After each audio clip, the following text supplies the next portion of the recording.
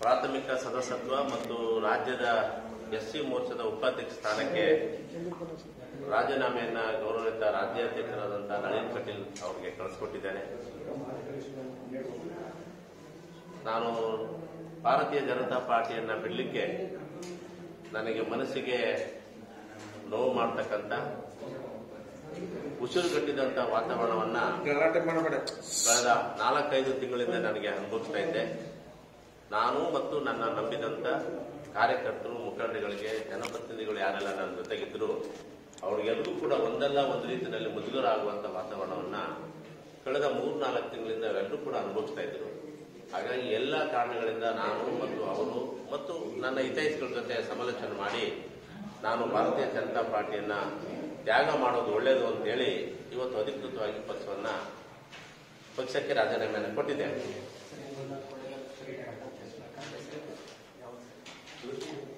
ನಾಳೆ ಅಂದರೆ ಮಂಗಳವಾರ ಏಳನೇ ತಾರೀಕು ಬೆಂಗಳೂರಿನ ಕಾಂಗ್ರೆಸ್ ಕಚೇರಿ ಇರ್ತಕ್ಕಂಥ ಕ್ವೀನ್ಸ್ ರಸ್ತೆಯಲ್ಲಿ ಕಾಂಗ್ರೆಸ್ ಪಕ್ಷಕ್ಕೆ ನಾನು ಸೇರ್ಪಡೆ ಆಗ್ತಾ ಇದ್ದೇನೆ. ನನ್ನ ಜೊತೆಗೆ ಮಾಜಿ ಶಾಸಕರಾಗಿರ್ತಕ್ಕಂಥ ದೊಡ್ಡಬಳ್ಳಾಪುರದ ಸನ್ಮಾನ್ಯ ನರಸಿಂಹಸ್ವಾಮಿ ಅವರು ಬಿಜಾಪುರ ಜಿಲ್ಲೆಯ ಕ್ಷೇತ್ರದ ಶಾಸಕರಾಗಿದ್ದಂಥ ಸನ್ಮಾನ್ಯ ಮನೋಹರ್ ಐನಾಪುರ ಇವರಿಬ್ಬರು ನನ್ನ ಜೊತೆಗೆ ಸೇರ್ತಾ ಇದ್ದಾರೆ.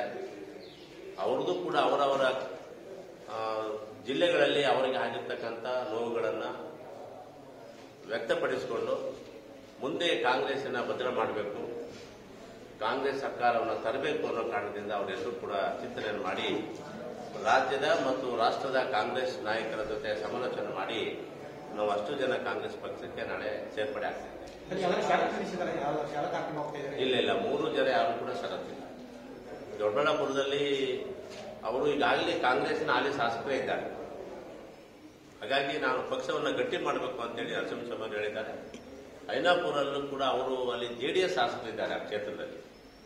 ಹಾಗಾಗಿ ಕಾಂಗ್ರೆಸ್ ಜೊತೆಗೆ ನಾನು ಒಬ್ಬ ಪಕ್ಷದ ಮುಖಂಡನಾಗಿ, ಕಾರ್ಯಕರ್ತನಾಗಿ ಸೇವೆ ಮಾಡ್ತೀನಿ ಅಂತ ಅವರು ಕೂಡ ಒಪ್ಕೊಂಡಿದ್ದಾರೆ. ನಾಳೆ ಬಹುಶಃ ಅವರವರದೇ ಭಾವನೆಗಳನ್ನ ಅಧಿಕೃತವಾಗಿ ಅವರು ಸೇರಿದ ಮೇಲೆ ವ್ಯಕ್ತಪಡಿಸ್ತಾರೆ ಅಂತ ನಾನು ಅನ್ಕೊಂಡಿದ್ದೇನೆ. ಸರ್ ಬಿಜೆಪಿ ಟಿಕೆಟ್ ಸಿಕ್ಕಲ್ಲ ಕಾಂಗ್ರೆಸ್ ಸ್ವಾಮಿ ಕಾಂಗ್ರೆಸ್ ಮಾಡಿದ್ದಾರೆ. ಜವಾಬ್ದಾರಿ ಕೊಡ್ತಾರ? ಅಥವಾ ನಿಮ್ಗೆ ಟಿಕೆಟ್ ಸಿಗುತ್ತಾ? ಅದ್ರ ಬಗ್ಗೆ ನೋಡಿ ಒಂದು ಪಕ್ಷದಿಂದ ಇನ್ನೊಂದು ಪಕ್ಷಕ್ಕೆ ಹೋಗುವಾಗ ಹಲವಾರು ಭಾವನೆಗಳು ಊಹೆಗಳು ಬರ್ತಕ್ಕಂಥದ್ದು ಸಹಜ. ಆದರೆ ನಾವು ಯಾವುದೇ ಪಕ್ಷಕ್ಕೆ ಹೋಗುವಾಗ ನಾವು ಯಾವುದೇ ಷರತ್ತುಗಳನ್ನು ಹಾಕದೆ ಪಕ್ಷಕ್ಕೆ ಹೋಗ್ತಕ್ಕಂಥದ್ದು ಎಲ್ಲ ನಾಯಕರ ಧರ್ಮ ಮತ್ತು ಕರ್ತವ್ಯ. ಆ ಕರ್ತವ್ಯಗಳನ್ನು ನಾನು ಪಾಲನೆ ಮಾಡ್ತಾ ಇದ್ದೇನೆ. ಪಕ್ಷ ನಮ್ಮ ನಮ್ಮ ಶಕ್ತಿಯ ಜವಾಬ್ದಾರಿ ಆಧಾರದ ಮೇಲೆ ಮುಂದಿನ ದಿನಗಳಲ್ಲಿ ಏನಾದರೂ ಒಂದು ಗುರುತುಗಳನ್ನು ಮಾಡಿ ನಮಗೂ ಕೂಡ ಆ ಪಕ್ಷದಲ್ಲಿ ಬೆಳೀಲಿಕ್ಕೆ ಓಡಾಟ ಮಾಡಲಿಕ್ಕೆ ಶಕ್ತಿಯನ್ನು ತುಂಬುತ್ತಾರೆ ಅಂತೇಳಿ ನಾವೆಲ್ಲರೂ ಕೂಡ ನಂಬಿಕೊಂಡಿದ್ದೇವೆ. ಹಾಗಾಗಿ ಆ ಒಂದು ಅಚಲ ವಿಶ್ವಾಸ ನಂಬಿಕೆ ಆಧಾರದ ಮೇಲೆ ಮುಂದಿನ ಸಂಘಟನೆಗೆ ನಾವು ಸಜ್ಜಾಗಿ ಹೋಗ್ತಾ ಇದ್ದೇವೆ.